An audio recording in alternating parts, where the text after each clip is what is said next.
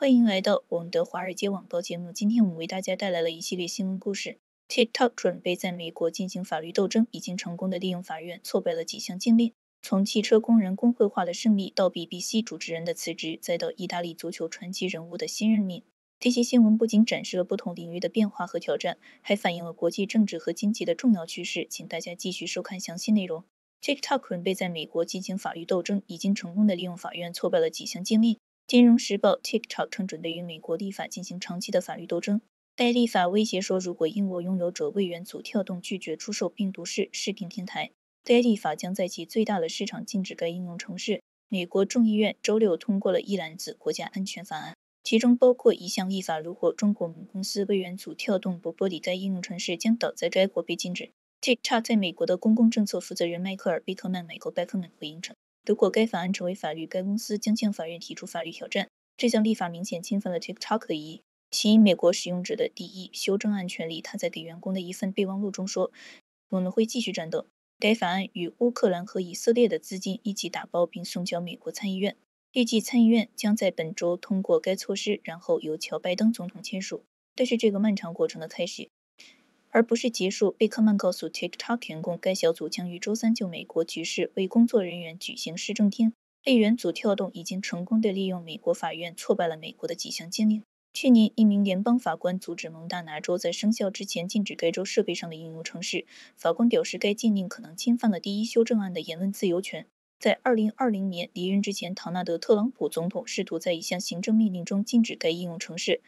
该行政命令还试图强制出售 TikTok，法院阻止了他的实施。乔拜登总统在上任后放弃了法律斗争。在最近的一系列事件中，从汽车行业到媒体界，再到个人悲欢，我们见证了一连串的变化和挑战。这些故事不仅展示了改变的力量，也凸显了人们在面对困难时的韧性和决心。首先，让我们来看看来自 Yahoo US 的报道，讲述了美国汽车工人联合会 （UAW） 在田纳西州查特诺加的大众汽车 VW 工厂赢得工会投票的胜利。这一胜利不仅是对该工厂工人的一大胜利，也被视为美国汽车行业工会化浪潮中的第一个多米诺。UAW 主席商芬表示，这一胜利证明了工会化是可能的，并预示着进一步的胜利。接下来，他们将目光转向阿拉巴马州万斯的梅赛德斯工厂，那里的五千名工人将于五月十三日至十七日进行工会化投票。尽管梅赛德斯对工会的立场比大众更为强硬，但芬对于赢得胜利仍然充满信心。另一方面，在媒体界，BBC 的主持人 Hu Edwards 因为一起色情丑闻而辞职。这一事件由 Australian Broadcasting Corporation 报道。Edward 健康原因辞职。此前，他因为支付三十五零英镑的一名年轻男子以换取其发送的明确图像而未能上班。自1984年加入 BBC 以来，Edward 一直是该公司旗舰新闻节目的主。这起丑闻首次由《太阳报》披露，《太阳报》披露他的报道后来被一名代表年轻男子的律师称为废话。在个人生活的挑战中，来自 Yahoo US 的报道提到，著名演员 Warwick Davis 在其妻子 Samantha Davis 去世后，将暂时离开社交媒体。Warwick Davis 因其在《哈利波特》和《星球大战》系列中的角色而闻名。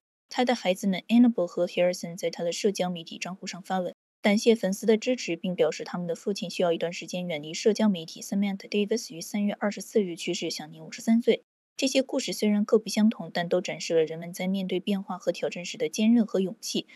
无论是在劳工运动争取权益，还是在个人生活中面对悲伤和丑闻，这些故事提醒我们，在困难面前，人们的决心和韧性可以引领他们走向更明的未来。在全球政治与经济的大棋盘上，中国无疑是一个引人注目的棋子，其影响力横跨各个领域，从汽车市场的竞争到国际间的间谍活动，再到美国国会对中国政策的制定。这些事件不仅揭示了中国在全球舞台上的角色，还反映了世界各国如何应对这一崛起的超级大国。首先，来自媒体一时的报道揭示了中国电动车市场的激烈竞争。特斯拉和中国电动车初创公司理想汽车宣布了新的折扣政策，以应对市场上的竞争压力。特斯拉对其在中国大陆销售的四款车型进行了降价，其中 Model 3降价百分之六，Model Y 降价百分之五。理想汽车则对其一款豪华电动车型降价三十。零元人民币三款插电式混合动力车型降价十八零零零到二十零元人民币。这些降价措施反映了特斯拉全球销量的下滑，以及像爱拓等新兴品牌对大型竞争对手的压力。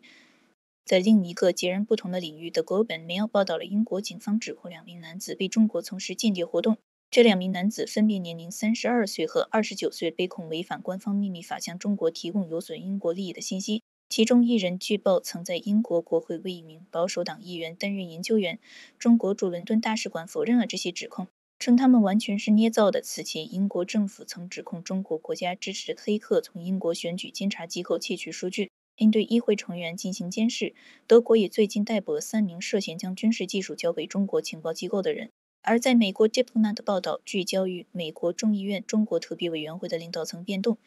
这可能削弱国会对抗中国的努力。美国众议员麦克加拉格尔辞职，他曾是该委员会的主席。该委员会成立时获得了两党支持，但随着其当前授权期即将到期，围绕其重新授权的分歧浮现。加拉格尔的离开可能进一步削弱华盛顿对北京的抵制势头。该委员会被视为是在中美紧张关系升级背景下的共和党主导倡议。加拉格尔致力于推进对华强硬政策，组织了多次听证会，并制定了反中国法案。他的继任者共和党代表约翰·穆拉纳尔可能无法达到加拉格尔的生产力，这可能阻碍华盛顿对北京的努力。该委员会未来的员会未来的有效性还受到 GOP 内部日益加剧的不和，以及十一月民主党在众议院胜利的潜在影响。此外，唐纳德·特朗普的孤立主义以及他对 GOP 日益增长的控制，可能影响委员会的运作。这些事件描绘了一个复杂的途径：中国的全球影响力与世界各国如何应对这一力量之间的互动。从商业竞争到国际间谍活动，再到政治决策，都在这个过程中发挥出作用。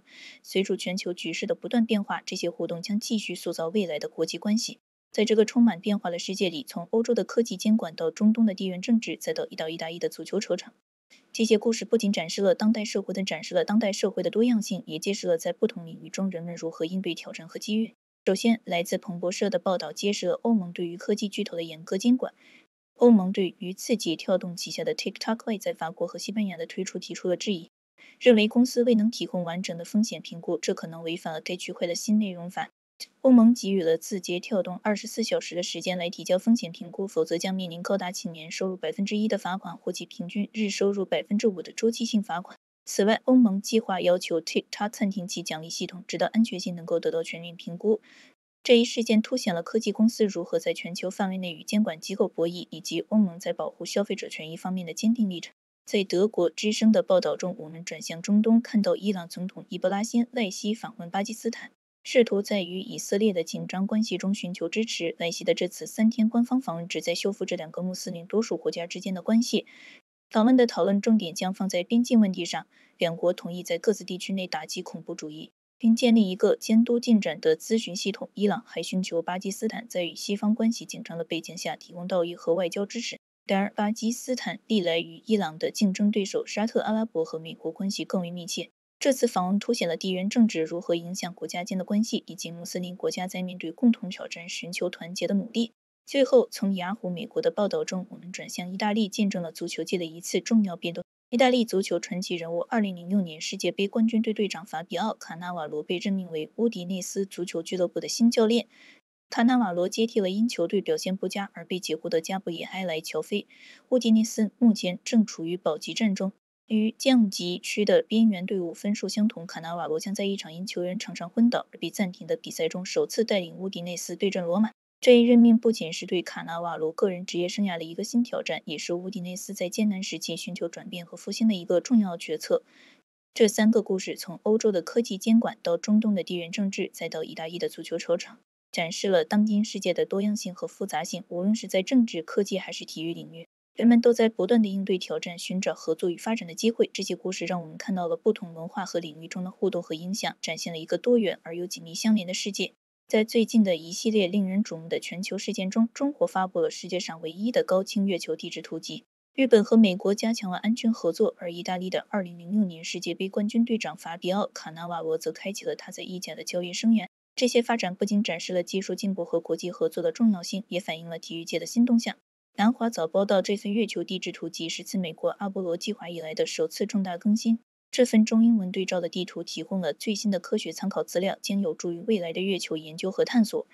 这份地图集有助于研究月球的演化，选择未来月球研究站的站点，利用月球资源，还将帮助科学家更好地理解地球和太阳系中的其他行星，如火星。自2004年启动月球探测计划以来，中国已向月球发射了多个轨道器、助陆器和巡视器。在国际安全合作方面，Deep 报道了日本首相岸田文雄访问美国的成果。